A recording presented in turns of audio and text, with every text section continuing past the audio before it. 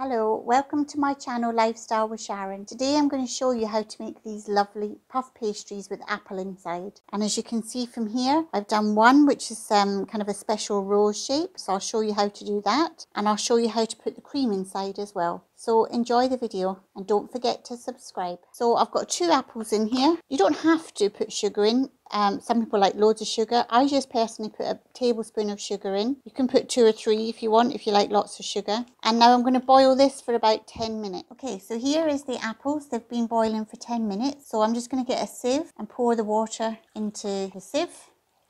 So we'll discard the water and then we'll just put the apples back into the pot and then you can keep them like that or I like to mush them with a potato masher. And again, you're still going to have a little bit more water now you've mushed it, so give it another drain because you don't want it too watery. And then you want to let this cool for a few minutes.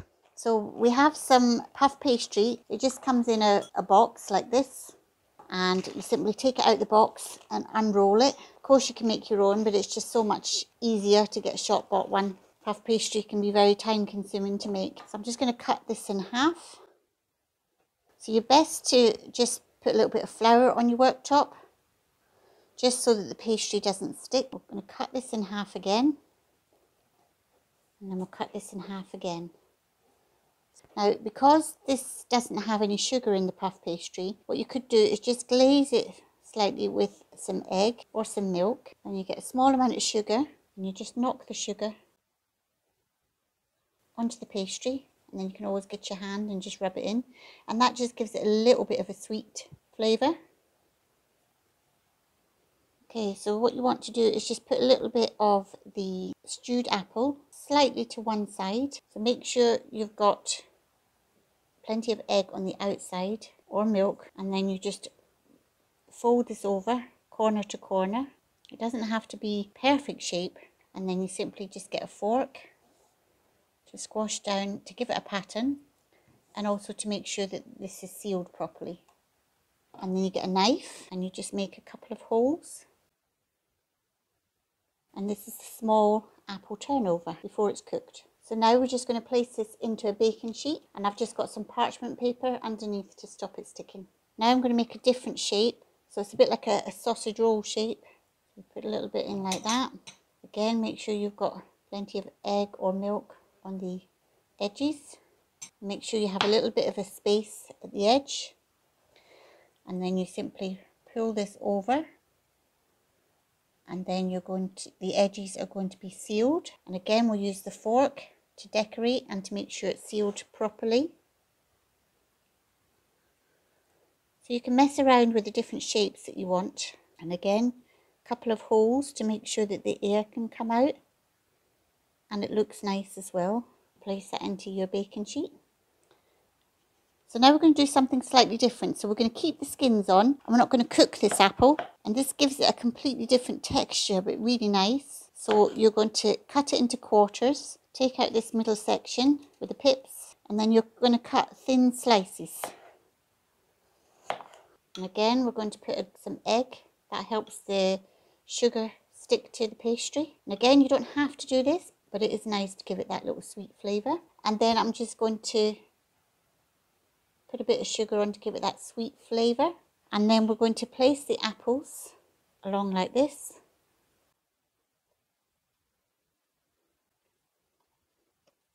Yeah, it doesn't matter if it's sticking out over the edge a little bit. And all you're going to do is roll this over. And then if you just make sure that there's a seal, enough for a seal either end. And then you can roll this and you get this nice rose effect. So you can just make sure that this bit is sealed at the end by just giving this a little bit of a, an egg wash. I might actually just take a, one of the apples out here because it's quite full and that will just help me bend this around.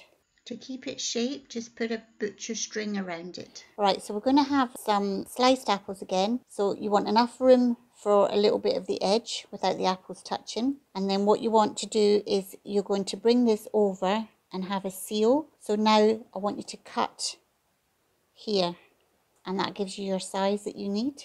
So let's take these apples off for a minute. And we're going to do our egg wash. And a little bit of sugar. And you're going to put your slices of apple like this. And you can put them slightly on top of each other so you can get more in there. Make it lovely filling inside. And then you bring this over. And with your fork, you seal the edges. Then put some holes in this. And we're going to put it inside our dish. Right, so we're going to put some stewed apple into the middle here. We don't want too much of this. So what you want to do is you want to do little slits. The same on the other side. It's just a good way of having fun. Of course, you can do this with the kids as well, or just do it as yourself and be a big kid. As adults, we deserve that. It's important we have fun in our life. Okay, so what I want you to do is you, you get one, one section and you kind of fold over diagonal like, like that then you get the other one and you fold it diagonal. Then you get the other one and you fold it diagonal. And so on. What I did forget is to make sure that you put your egg wash on the edges. This helps it stick. So you carry on like this, pulling this over and it should just give you a pattern on your pastry. Now I've done it a very thin one here, I've just realised, but you can do whatever thickness you like with it. Play about with it and have a bit of fun. That's the main thing. Have some fun. And if you do put too much apple in, it just means that this might burst open when it's cooking, but that doesn't matter. It's probably a bit easier if you make a bigger one. And again, you can make these little strips thin or you can make them double this size, make them thicker. You know, play about with it. It's a very long, thin one. And what I'm going to do is just put an egg wash on all of these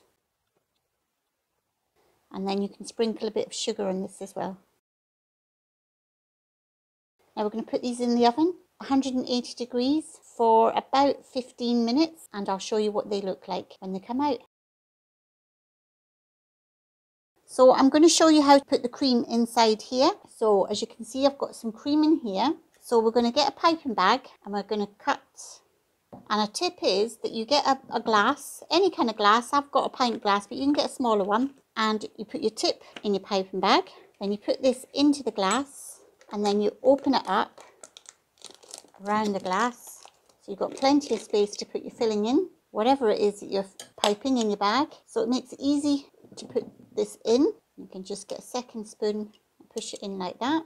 This way you're not having to try and hold the bag and try and do the filling at the same time. You take it out of your glass and you bring it up and then you squeeze it down and there you have your piping bag with your filling inside. So much easier. Anyway as I said earlier we just slightly open this so it gives you filling space. So you just squeeze your cream however much you want in there.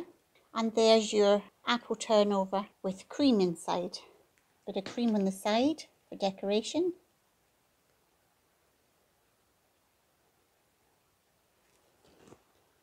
Now another thing you can do to put some lovely sauce on the top is get some icing sugar. I've got a tablespoon here.